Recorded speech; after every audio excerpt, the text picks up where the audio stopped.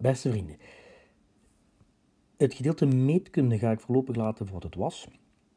Dus 1.5 en ook 1.6 gaan we daar voorlopig niet van doen. Moest we zien dat we tegen de examens toe toch nog wat tijd hebben, kom ik daar nog op terug. Maar ik wil zeker dat deze uh, getallenleer er zeker doorgaat, want dat is heel erg belangrijk voor het volgend jaar. Wij waren ongeveer overal bij oefening 9. Moest je ze al hebben, dan kan je gewoon doorgaan. Moest je die nog niet hebben, kijk dan hier even en controleer. Deze oefening, had ik al gezegd, is natuurlijk, uh, moet opgelost worden via distributiviteit. Dus elke term van de eerste met elke term van de tweede. En dat gaat hier ook natuurlijk exact hetzelfde. Dat betekent in totaal, dus we hebben een 2 term maal een 3 term en dat twee keer, dus dan gaan we in totaal 12 termen hebben.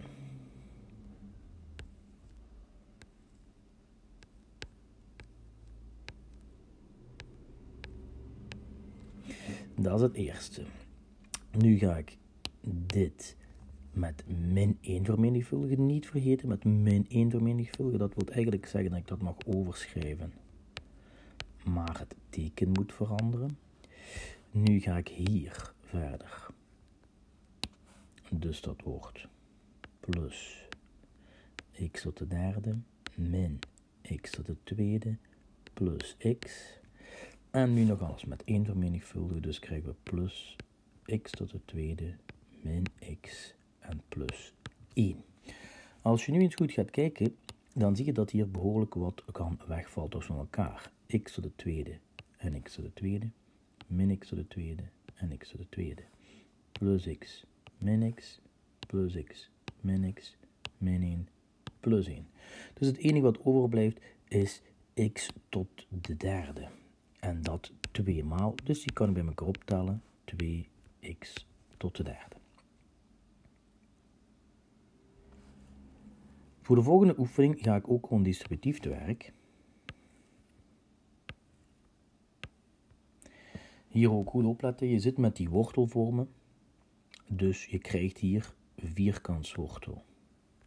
3 maal 12, dat wordt dus eigenlijk 36 kan ik al heel makkelijk houden, want ik weet dat de vierkantswortel van 36 6 is, x tot de derde. Dan krijg ik min 2 vierkantswortel 12x, maar vierkantswortel 12 ga ik al schrijven als 2 tot de tweede maal 3. x tot de tweede, de x'en vermenigvuldig ik al met elkaar. En dan krijg ik de laatste, dat wordt dus plus vierkantswortel 24, maar 24 dat ken ik ook niet zomaar van buiten. Dus dat is eigenlijk 8 maal 3. Dus maken we 2 tot de tweede maal 2 maal 3 van. Ik ga wel even zorgen dat die wortelteken ver genoeg komt. Voilà. En dat is dus x. Ik ga hier de vierkantswortel trekken uit de elementen waarvan het kan. Vierkantswortel 36 wordt 6x tot de derde. Dit wordt min 2 maal 2 vierkantswortel 3x tot de tweede. En hier krijgen we plus 2 vierkantswortel 6x. Laatste stap. 6x tot de derde min 4 vierkantswortel 3x tot de tweede plus 2 vierkantswortel 6x.